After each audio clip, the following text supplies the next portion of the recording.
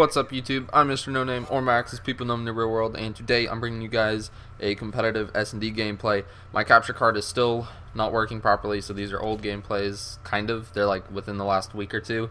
Um, and I'm trying to space them out now, so I'm back to my regular upload schedule. But yeah, the, the match that this is from, we actually played them twice on the same day because it was a PGL match, so I have several gameplays to use from this match. Uh, one of the guys, uh, Perfect Vibes, I believe, that's his gamer tag. Yeah, that should be it. Um, he was real chill. You know, me and him were messaging back and forth afterwards. So it was pretty cool. But I need to use gameplays. So, and I know he watches my videos now. So I'm sorry if you're upset at me using the gameplay. But oh well, it's it's whatever. You can use gameplays against me. I'm sure people have done it before.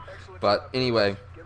Uh, so yeah, it's actually um, 10:30 at night my time right now when I'm making this video, but I promised you guys one for today on my Twitter account. So yeah, I gotta do it. So, uh, somebody asked me a question, so I'm making a video response to it. Basically, it's tips on improving your aims, kind of slash winning gunfights. I might need to make another video for that. It just depends on how much time we have. So, you know, some of this goes towards both, but basically, there's two categories I'm gonna get into. The first one is one that not a lot of people really talk about when they make videos on this and this is just kind of the things that you can do outside of the game to help improve your aim slash you know overall performance as well so what what you can do is um, there's actually almost like two subcategories in this first category but whatever. Okay there's some things that you can buy um, that will help your aim. The first one is KontrolFreeks. this is the biggest factor I find with aim as far as the products that you can buy. And basically they are thumbstick extensions and they just help improve your aim.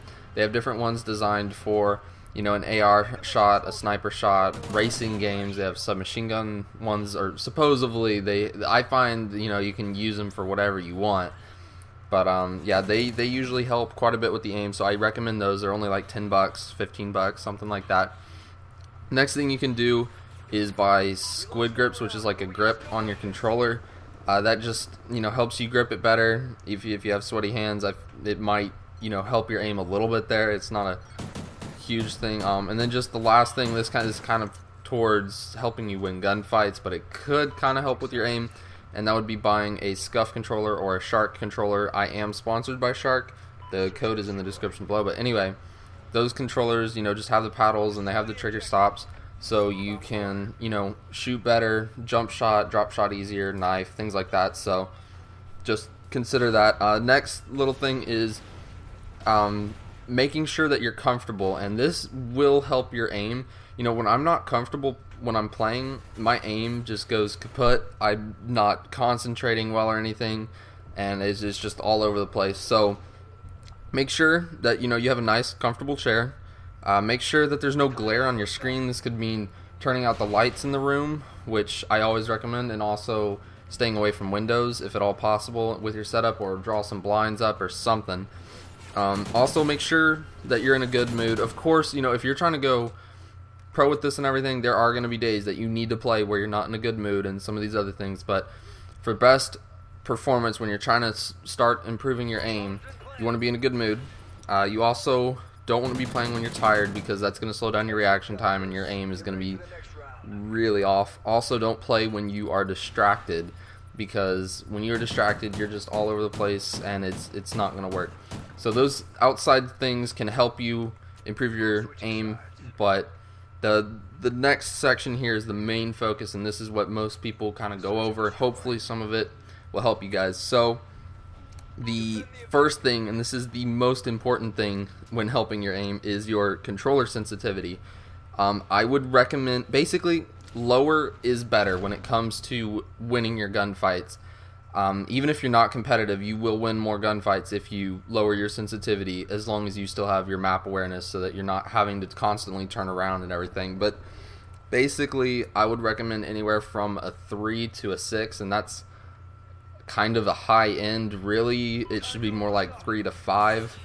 But you know, some people are successful a little bit higher in the competitive world and in the pub stomping world, but typically stay on the lower side. Uh, lower for ARs because uh, you're going to be doing more long range shooting. Um, you can have a little bit higher with the submachine gun. You're going to be in more close range gunfights. You'll have to turn more.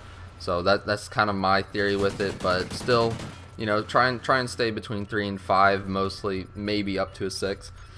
Uh, next thing is have your controller layout set to tactical, even if you have a scuff or a SharQ controller or whatever you have. Uh, this will allow you to drop shot better, and you know you got to work on your aim while you're doing the drop shotting and everything. But this will help you win those gunfights, um, and you you can just practice and you'll you'll get that aim down. Um, a lot of times it'll throw other people's aim off, so you know it, it can work. Uh, next thing is aim for the center mass. Don't be aiming necessarily for the head or for the feet or for the sides because also the one thing to talk about here is the ghillie suits. I know they're banned now in competitive, but if you're playing public matches, you might still come across this or some weird tournament that allows them. Um, the hitboxes for all the characters, whether you have a ghillie suit, whether you're male, female, are in the same location. So with the ghillie suit, it looks like you're hitting them on your screen, but you're really not. You're hitting just that little foliage stuff on the side. So make sure you're aiming for center mass. Also, this means that when you flinch and everything with your gun, you're you're gonna be hitting either to the left, right, up, or down. You're still gonna be hitting the person. So that's the thing. Also, then if they jump shot or drop shot, you are still hitting them most likely.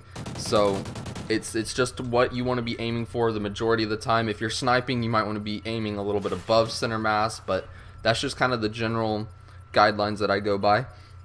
Uh, next thing is find your preference between strafing versus using the right uh, the right stick to aim. And what I mean by this is I know there are some pro players, especially back in Black Ops 2. Some of them would strafe more to get their aim locked on, and some would use the right stick way more. And of course, you're still going to be using the right stick to aim no matter what you do. But some of them would strafe more. Like I, I know Nadeshot preferred to strafe more to get his aim on.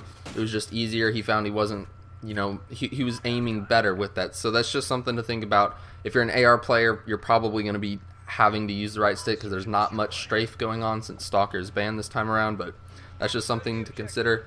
Uh, quick tip for snipers on improving your aim if they are running like not in a straight line towards you or away from you, they're running, you know, at a 90 degree angle, make sure you lead your shots a little bit. There's online latency. I haven't been to a LAN. At a LAN, you can probably aim right on them and you can get the kill, but in an online setting, lead your shot a little bit. You'll get the kill more likely, more of the time and everything. So, quick tip for you guys. Also, make sure you're using focus and dead silence. Uh, dead silence will help you win, you know, more gunfights. Less people will hear you, but the focus is going to improve your aim a lot if you're not already using focus. Um, it's just gonna, you know, help you keep on target more often. Next thing, and pretty much the last thing as far as improving your aim, is just plain old practice. You've got to practice. Practice makes perfect. Um, it's a very difficult thing for people who are just getting into competitive or for people who are just starting to play but it's a skill that you need to develop. Gun skill is something that everybody can improve on. And you know, it's it's one of those things that even if you're not the smartest player, you can you can do it. Like you, you'll learn it over time throughout through practice, and it just takes a little while to develop your shot. You know, sometimes it'll still go shaky, but you you can work through it. You know, just try and get into a consistent mode. Make sure you're playing, you know, fairly often. You don't want to take giant breaks, then your aim will go way off again and you'll have to get used to it again. So hopefully these tips helped you guys out. Uh, so as you guys can see, we're coming to the end of this video. If you enjoyed it, then please like, comment, and or subscribe. If you didn't, then let me know what I can do better next time. Constructive criticism goes a long way, guys. Until next time, everybody, peace out.